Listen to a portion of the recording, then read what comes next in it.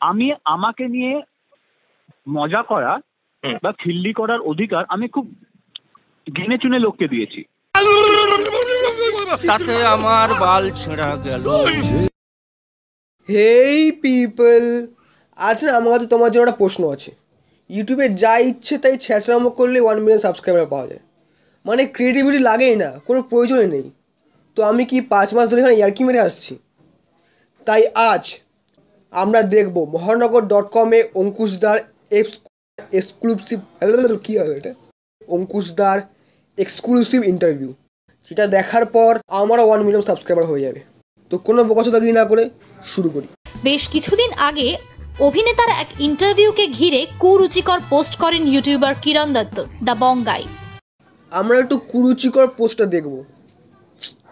সত্যি কিরণ দা পোস্টটা খুব বাজে হয়েছে। খুবই কুরুচিকর পোস্ট মহানগর টোয়েন্টি ফোর ইন্টু সেভেনের তরফ থেকে। আমাদের মাধ্যমে কিরণ দত্তকে চ্যালেঞ্জ করলেন অভিনেতা। কি বললেন তিনি? শুনে নেব। ছোট ছোট ছেলে আমার থেকে দশ বারো বছরের ছোট সব। হ্যাঁ। না বলছি অঙ্কুশদা কোন কোম্পানির খাওয়া হয়? মানে যতদূর আমার অঙ্কের জ্ঞান রয়েছে যেটা কিনা বেশি দূর না টেন ফেল হার্ডলি ছ বছরের গ্যাপ আছে। আর সেখানে তুমি থেকে দশ বারো বছরের ছোট সব। হ্যাঁ। হুম। সো এমনি কিছুই না মানে আহ, সফল অনেকভাবে হওয়া যায় বাট কি হয় না এরা এত ছোট ছেলে না এটা কিন্তু একদম ঠিক কথা। সফল কিন্তু অনেকভাবে হওয়া যায়। এই মানুষটাকে দেখছ এমনি এমনি এত ফেমাস না এ কোনো ভালো কাজ করছে তাই এ ফেমাস তাই না অঙ্কুশদা জীবনে অনেক কিছু করা বাকি। But what they chose in life they chose to demean people and to gain popularity এটা একটা জিনিস বোঝে না যে একটা ক্লিক করতে পয়সা লাগে না সাবস্ক্রাইবার বাড়তে। হ্যাঁ। একটা ক্লিক করতে পয়সা লাগে না। পয়সাটা লাগে যখন তিনশো টাকা দিয়ে হলে গিয়ে কেউ কারও সিনেমা দেখে। না লাগে না তো পয়সা সাবস্ক্রাইব পেতে এমনি মানে ওয়েলা হয়ে যা ইচ্ছে তাই ভিডিও আপলোড করে দাও আর সাবস্ক্রাইবার তো এমনি পেয়ে যাব। আর আরতি হলে তিরিশ টাকা দিয়ে অঙ্কুশদার ফিল্ম দেখতে তো টাকা লাগে না। না তোমরা যারা এই ভিডিও দেখছ তোমাদের মনে হাত দিয়ে বলো তোমরা অঙ্কুশদার কোন ফিল্মটা দেখার জন্য হলে গেছো? ও তো ফিল্ম রিভিউ করে না।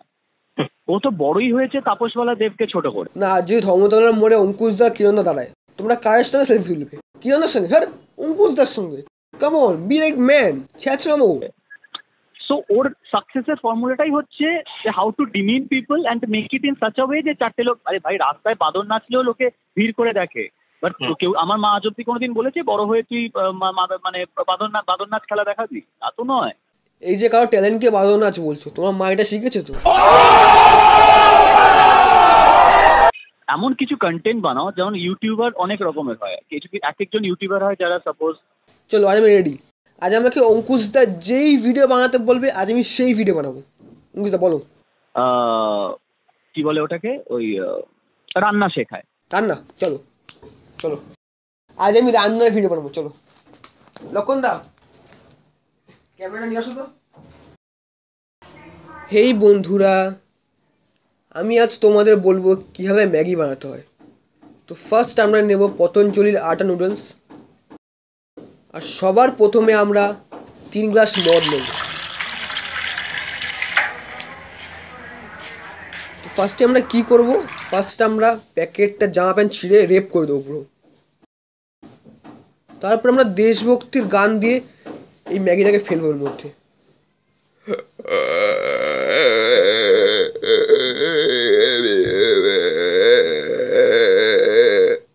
মশলা দিতে ভুলবে না। ভুলবে না মশলা দিতে। কেমন দাও।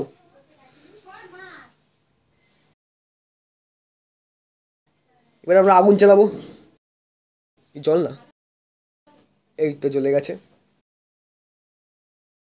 তো আমরা কিছুক্ষণ ওয়েট করব আমাদের ম্যাগি তৈরি। Thank you guys for watching লক্ষণের রান্নাঘর।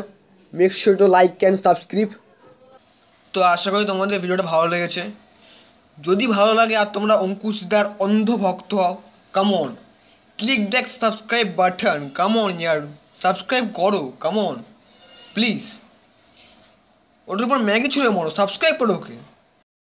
আর দেখা হবে নেক্সট ভিডিওতে ততক্ষণের জন্য ওকে বাই